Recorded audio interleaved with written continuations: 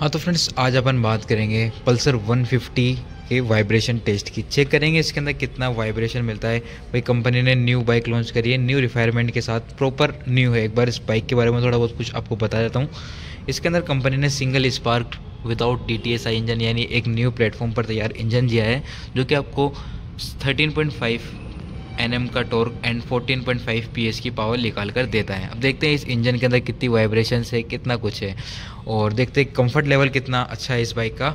Check करेंगे आज इसका वाइब्रेशन टेस्ट सबसे पहले अपन ने यहाँ पर डिस्पोजल ग्लास भर लिया है। इसको सबसे पहले अपन टेस्ट करेंगे सीट के ऊपर। क्योंकि जो सबसे ज़्यादा वाइब्रेशन वगैरह रहते हैं, वो सीट पर टैंक पर और अपने पेडल्स पर रहते हैं। स्टार्ट करते बाइक को।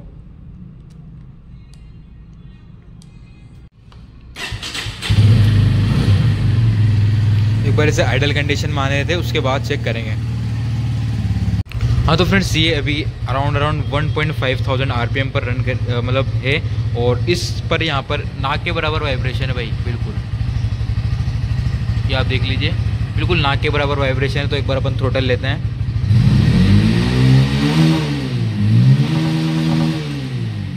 कुछ ज़्यादा खास वाइब्रेशन आपको सीट पर देखने के लिए नहीं मिलेंगे या नहीं फील होंगे, क्योंकि कंफर्ट बहुत अच्छी सीट और भाई ये सिंगल सीट वेरिएंट है। तो यहाँ पर आप देख सकते हैं। अब एक बार इसे पीछे रख के देखते हैं। रियर में क्या कुछ है सिस्टम अपना? ये अभी आइडल कंडीशन में है। थ्रोटल लेंगे।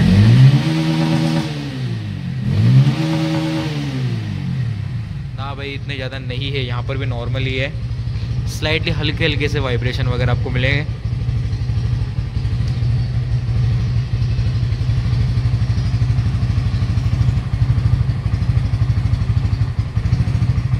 वहीं एक बार बात करते हैं टैंक पर। टैंक पर चेक करते हैं। ये इस, ये अपना आइडल कंडीशन में बाइक अभी टैंक पर थोड़े ज़्यादा वाइब्रेशन मेरे को लग रहे हैं, आप देख सकते हैं एक बार। हल्के से, एक बार थ्रोटल लेते हैं।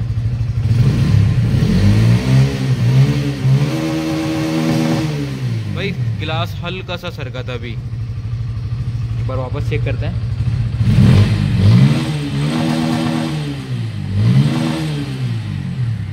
इतने ज़्यादा तो नहीं है, लेकिन थोड़े आप कह सकते हैं टेन टू ट्वेंटी परसेंट यहाँ पर आपको वाइब्रेशन देखने के लिए मिलेंगे। बाकी ओवरऑल सही है, आगे यूएसबी चार्जिंग पोर्ट वगैरह भी है, और टैंक पर और कहीं रख के चेक नहीं कर सकते, भाई गिलास गिर जाएगा। तो अब बिल्कुल मिड में रख कर चेक करते हैं। हिलना चाहिए। ये थोड़ा सा स्लोप टाइप है, इसलिए हो सकता है हिल रहा हो। बाकी इतने ज़्यादा वाइब्रेशन टैंक पर भी आपको नहीं मिलेंगे। अब नेक्स्ट अपना रहने वाला है फुट स्टेप्स क्योंकि भाई फुट स्टेप्स पर ही आप अपने पैर वगैरह रखते हैं। यहाँ पर आप देखिए। बताओ भाई, गिरेगा कि नहीं गिरेगा? गैस करो एक बार, फटाफट कमेंट करो। उसके बाद में थ्रोटल लूँगा। फटाफट कमेंट करो, जल्दी से। चलो थ्रोटल लेते अपन। आ गया भाई, आ गया आ गया आ गया। बस बस बस बस बस। इतना भाई वाइब्रेशन यहाँ पर आपको मिलता है। एक बार आप वापस मैं आपको एक बार दिखाता हूँ। और आ गया आ गया बस बस बस बस।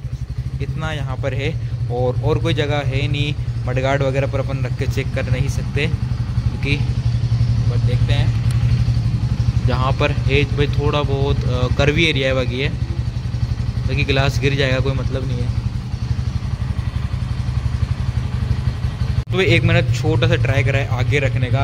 हल्का सा हैंडल पे भी आपको चेक करा दूँगा, वैसे होता नहीं है, लेकिन एक बार अपन ट्राई करते हैं। भाई कमेंट में ज़रूर कुछ ना कुछ बताना। स्लाइडली वाइब्रेशन आपको हैंडल पर भी मिलेगा।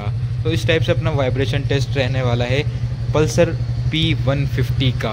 वीडियो वीडियो कैसे लगा? कमेंट सेक्शन में ज़रूर बताना। एंड भाई, मेरे हिसाब से मिड है। ना ज़्यादा वाइब्रेशन है, ना ज़्यादा स्मूथ है।